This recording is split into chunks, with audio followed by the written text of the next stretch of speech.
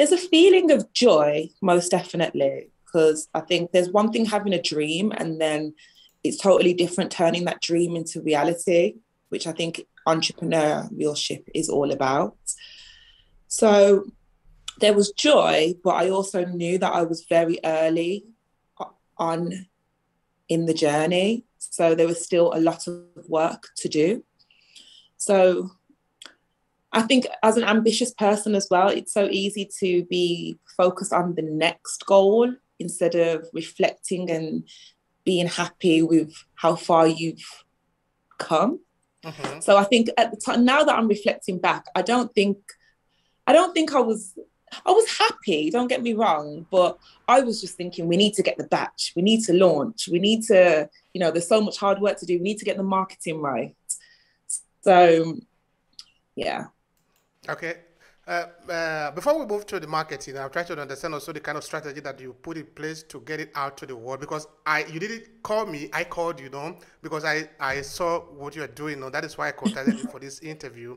Which means that yeah. somehow some things you have done, right? Put out the in terms of the marketing. But before we got there, uh, when you showed to your to your sister, what did she say? I mean, what was her reaction? So it's my niece. Ah, sorry, sorry. when you showed to your niece, sorry. it's fine. Um, she was really, really happy. I think she just felt like my auntie has made a doll just for me. um, yeah, I think she was really happy. And because she was only five, I don't think she realized how powerful her telling me she did not want to be black made me feel. I think she just she just saw it like it was a throwaway comment and that there was going to be nothing done of it. But that comment definitely stuck in my head. And once I showed her the doll, I think she knew how special she is. That just from her voicing how she felt, it's now made her auntie create a business. And that's good, and that's great. And, and I think that is what uh, entrepreneurs do in most of the cases, no? in that you look at the, the, the world around you, look at your society, uh, you see a problem, Do you try to provide solution to the problem, no? in terms of maybe mm-hmm. creating a course or creating a product, or I don't know, but you definitely provide a solution to that problem. And, and I find that to be very interesting, you know? uh, okay, now let's look at about the marketing, like I was saying before. How do you, because you have not yet launched it, now you are planning for the launch. How do you intend to go about the marketing? Because I think it's really interesting what you're doing or for the message behind it. So how do you intend to go about it so that more people can hear of what you're doing? Well, when I initially had the idea, we didn't just want to make a black doll because the world that we live in, race does make people feel uncomfortable, especially if they don't have to go through the problems that certain races do go through.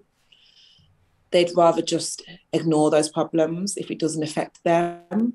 So I wanted to go down the road of being inclusive. I wanted a white girl to be able to play with my black doll, a black doll to be able, a black girl to be able to play with the Muslim doll. I wanted it to reflect the society that we live in. So that's why we decided to do four dolls instead of one and make them best friends and have them be all different cultures. And then also throw in that they travel around the world. And then also throw in that when they travel around the world, they meet inspiring women from all different colors, all different areas of the world. And I feel like I had to strip back the different layers of the brand and join them all up together,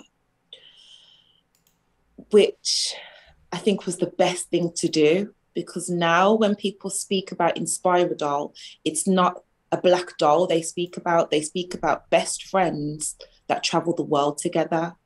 And that happens in any community. Hmm, so. That is very, very inspiring. I think it's, it's right. It's Payarido. Yeah. the word that really make a lot of sense now. so mm-hmm. tell me, what is his reaction of the people around you? Um, surprisingly, a lot of the people who like the concept are white. they're white. I think they feel included, even though we are launching with the black doll first.